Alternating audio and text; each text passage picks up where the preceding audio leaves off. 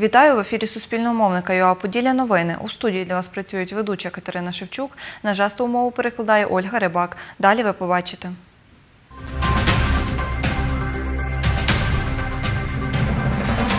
Чи потрібна ліцензія на продаж глінтвейну на ярмарках міста? Власну техніку художнього розпису започаткувала Людмила Педосюк з Летичева. 21-й міський турнір з баскетболу Різдвяні канікули стартував в Хмельницькому. Більше 15 видів глінтвейну представлено на різдвяному ярмарку у середмісті Хмельницького. Про це каже підприємець Олександр Войтович, котрий реалізує напій в центрі міста. Як ставляться до продажу алкоголю біля ялинки містяни та чи не порушують закон підприємці, продаючи напій на центральній вулиці Проскурівській, з'ясовувала наша знімальна група. А як ви відноситесь до того, що його продають на різдвяні ярмарки? Ні, то типу класно, але для тільки для повнолітніх.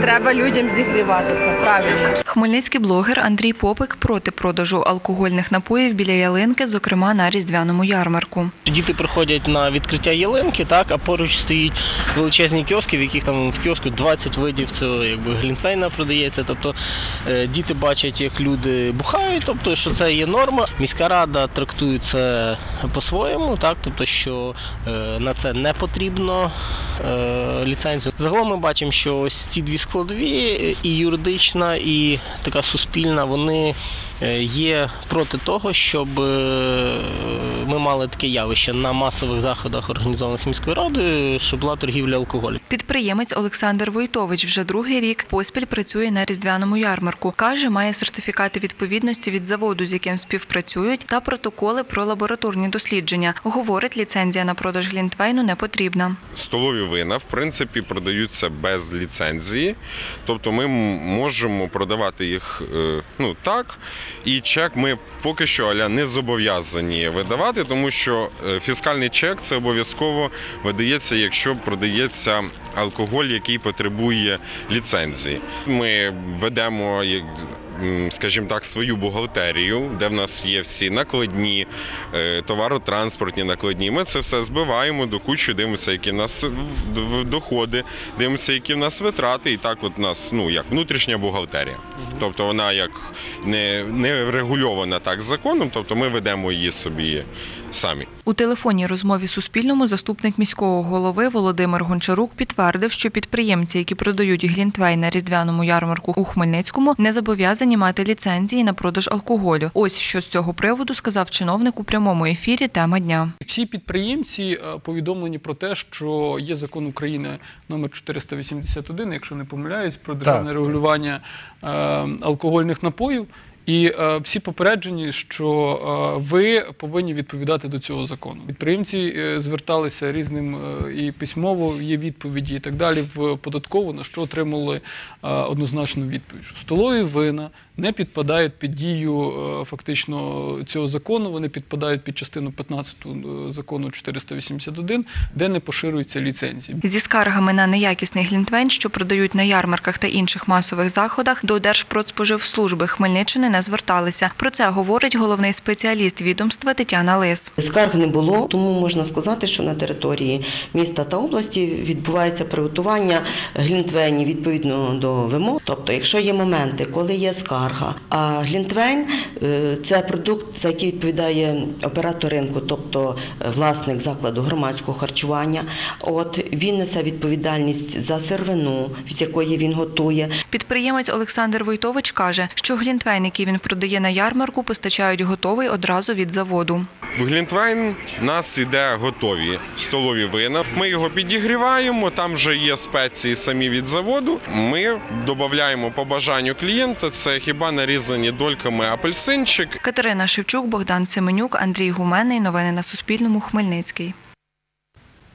Не оголошено підозру та не обрано запобіжний захід водію, який керував службовим автомобілем управління СБУ в Хмельницькій області та вчинив ДТП поблизу Хмельницького, в результаті якої загинуло двоє людей. Про це каже перший заступник директора, начальник слідчого управління територіального управління Державного бюро розслідувань Сергій Кушнір. За його словами, наразі триває досудове розслідування. Слідчі з'ясовують усі обставини аварії.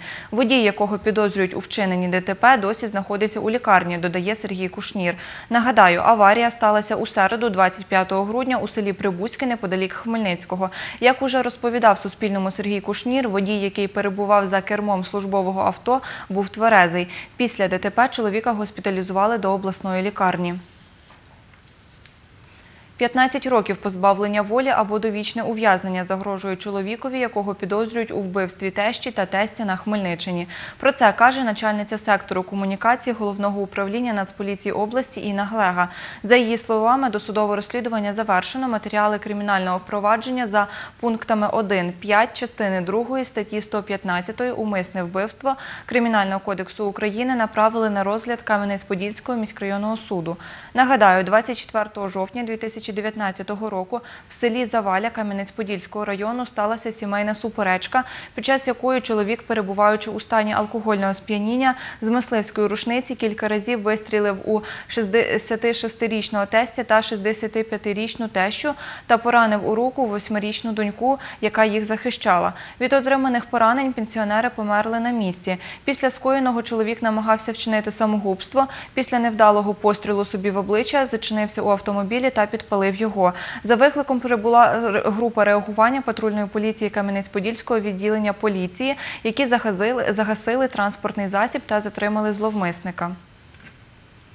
Хмельницький міськрайонний суд обрав запобіжний захід у вигляді тримання під вартою трьом із п'яти підозрюваних у скоєнні розбійного нападу в Кам'янець-Подільському районі. Про це каже заступник начальника головного управління Нацполіції Хмельницької області Андрій Чайковський. Трьом підозрюваним, яких було затримано за підозрою у вчиненні розбійного нападу у Кам'янець-Подільському районі, суд обрав запобіжний захід у вигляді тримання під вартою без права застави. Е, Утримуватись під вартою будуть вони до 27 лютого цього року. За словами Андрія Чайковського, напередодні хмельницькі поліцейські затримали 36-річного жителя Київщини, 52-річного жителя Донецька та 47-річного жителя Кам'янця-Подільського, які переховувались в одному із сіл Київської області. Під час обшуків у затриманих вилучено вогнепальну та пневматичну зброю, набої різного калібру, балаклави, номерні знаки до автомобілів. Зловмисникам оголошено про підозру в ціні розбійного нападу, за що їм загрожує до 12 років позбавлення волі із конфіскацією майна.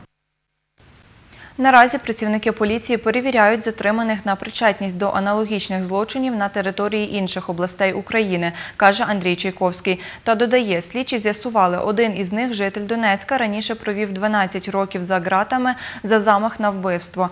Як розповідала раніше начальниця відділу комунікації головного управління Нацполіції у Хмельницькій області Інна Глега, ввечері 26 грудня 2019 року п'ятеро чоловіків у Бакалавлах проникли у будинок жителів села Брага Кам'янець-Подільського району. Зловмисники побили та зв'язали трьох членів родини, після чого заволоділи їхніми заощадженнями та мобільними телефонами.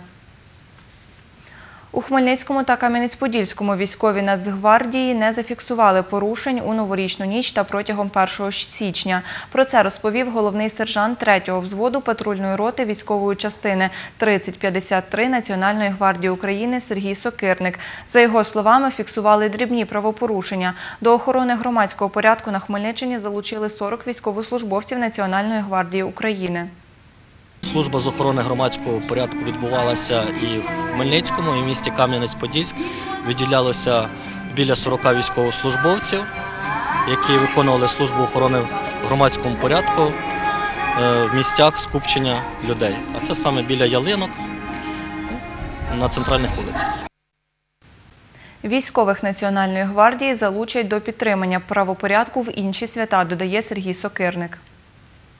В цьому році було набагато краще. Люди стали більше з розумінням відноситися до свят. Е, Як таких надзвичайних правопорушень ніяких не було. Люди собі мирно, спокійно відпочивали. На новорічні свята, на інші свята ми так само залучаємося, патрулюємо. Наша служба е, так складається, що ми більше є на профілактику, на припинення злочинів та правопорушень, надання допомоги правоохоронним органам.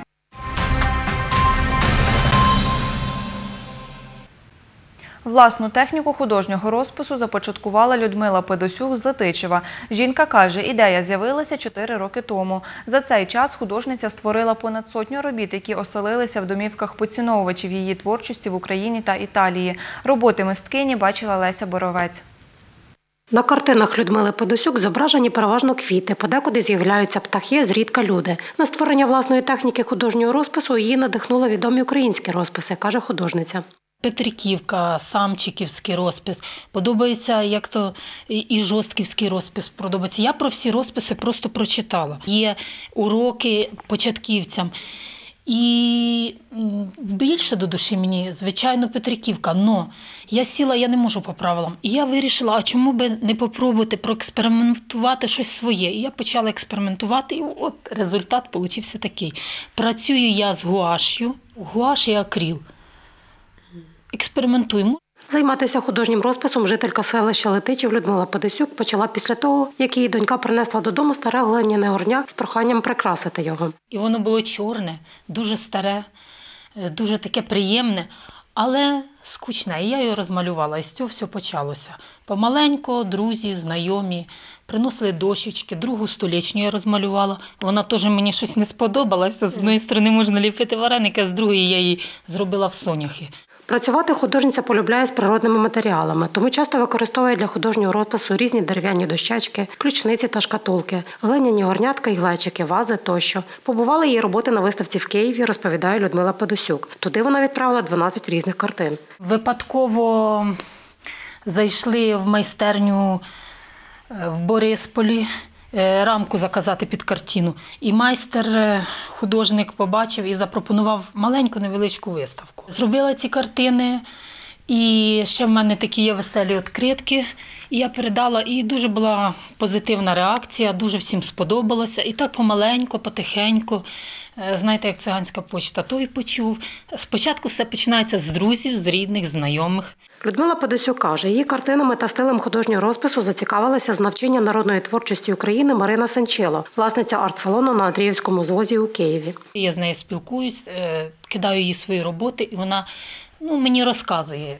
Подобається, ну взагалі їй завжди подобається. Я дуже рада цьому. Зробила пару виставок е, тут, в Летичеві, а потім е, мене запросили, приїхала моя знайома хороша з Італії, і е, купила в мене картини. От, і показала там в Італії знавцям. І там є така знаменита бібліотека Валерій на площі Навона. І вони побачили мої роботи і запропонували виставку. Вона ризикнула і поїхала. Так її роботи потрапили до Італії на виставку Народна творчість України. Художниця додає, своєю творчістю прагне привернути увагу людей до краси навколишнього світу. Їй запропонували влаштувати персональні виставки у Польщі та Італії. Леся Боровець, Дем'ян Цегольник. Новини на Суспільному. Хмельниччина. Завтра на Хмельниччині опадів не передбачається. Вітер помірний, північно-західний вночі, вдень з переходом на західний. Про це каже провідний синоптик Хмельницького обласного центру з гідрометеорології Валентина Василькова. Стопчики термометрів фіксуватимуть вночі по області 1,6, в Хмельницькому 2,4 градуси морозу. Вдень по області 2,7, в обласному центрі 4,6 градусів тепла. 4-5 січня місцями йтиме сніг та мокрий сніг, посилиться вітер до 15-20 метрів за секунду. Температура повітря істотно не зміниться. А на різдвяні свята переважатиме погода без опадів, температура повітря знизиться і становитиме вночі від 4 до 9 градусів морозу, вдень від 1 до 5 нижче нуля. 21-й міський турнір з баскетболу Різдвяні канікули розпочалися у Хмельницькому. У ньому змагаються збірні команди юнаків загальноосвітніх навчальних закладів перших-третіх ступенів. Участь бере чотири команди Хмельницького. Як відбуваються змагання, дивіться далі у сюжеті.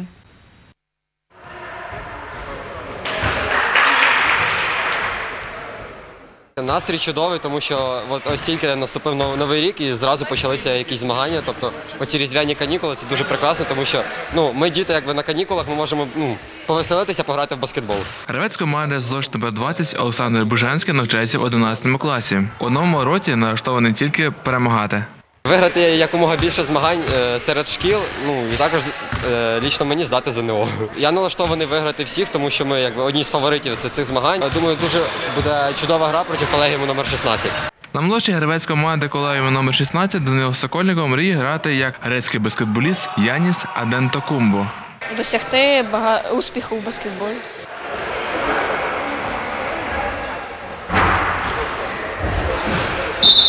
Зараз ми бачимо тенденцію того, що діти сидять вдома в телефонах, в телевізорах. І коли були кінець 90-х років, Володимир Романович Кожубняк і Михайло Чекман дали, пропозицію для дітей під час канікул проводити спортивні заходи. Спортсмени, котрі сьогодні змагаються, грають у команді першої ліги, яка представляє Хмельниччину на всеукраїнських змаганнях, розповідає головний суддя турніру з баскетболу Сергій Лозінський. На ці змагання приходять найкращі баскетболісти міста Хмельницького. Чому? Тому що діти люблять баскетбол. Їх не цікавить зараз телефони, вони хочуть поспілкуватися, вони хочуть пограти, показати свої здібності, які вони досягли під час свого тренування. Завтра відбудеться фінал і нагородження спортсменів. Андрій Гуменний, Іван Мовчан. Новини на Суспільному. Хмельницький. Це була остання інформація цього випуску. Більше новин дивіться на нашому офіційному сайті та на сторінці у Фейсбук. Побачимось.